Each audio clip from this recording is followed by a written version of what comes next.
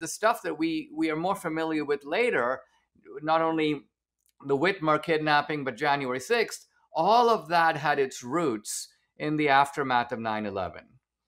If you went back in time to, let's say, 2002 and 2003 and said this is the kind of thing that is and will happen, you would be regarded in Republican circles as a complete lunatic, to, like make Alex Jones look tame.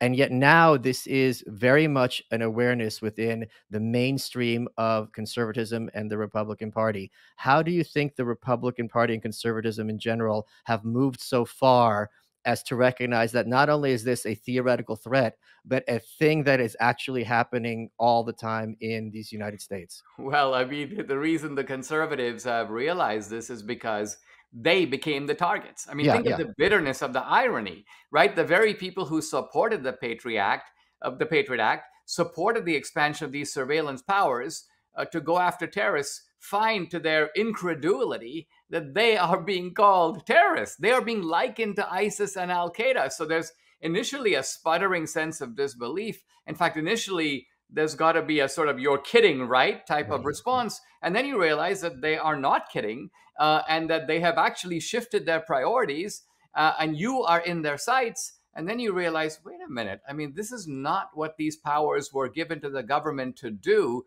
Something has gone terribly wrong here, even though, as you know, uh, there were a few people, not not that many, uh, even at the beginning, people like Ron Paul, who did warn that these powers not only could but would be abused, and they turned out to be quite right. So you uh, were advisor to the Reagan administration, and one of the big kind of myths—I don't mean in the sense that it's false, but just talking points of conservatism—is you know Reagan and Tip O'Neill would kind of hash it out during the day, but they could still shake hands and have a round of golf in the afternoon. I think now conservatives understand that this kind of vision of we're going to shake hands and work with the Democrats is completely out the window.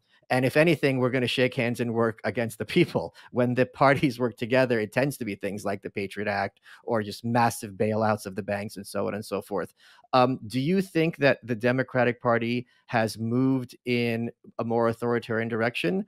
And, or do you think this Reagan Tip O'Neill thing was always untrue? Well, let's be clear what we mean by the Reagan Tip O'Neill thing, because I, I don't think it means that uh, Republicans and Democrats could sort of resolve their differences, find a middle ground, shake hands on a deal. It was rather the belief that, look, we are fighting quite bitterly on the Hill and in policy matters over tax rates, over um, regulation, over unions, uh, even over foreign policy.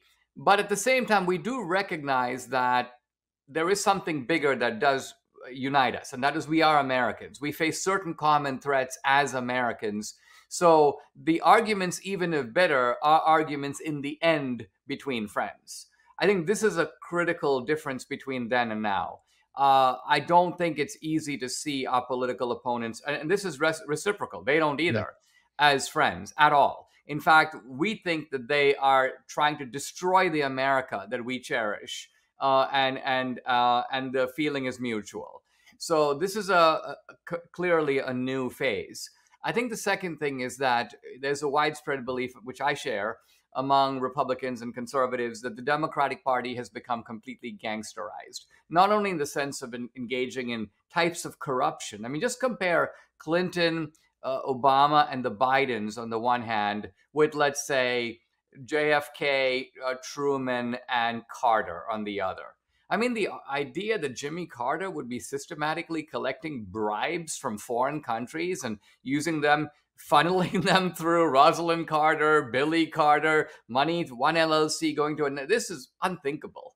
Um, it was as unthinkable for uh, Carter as it was for Reagan, as it was for Bush. I mean, no one suspected or thought that those people went to the presidency to make money.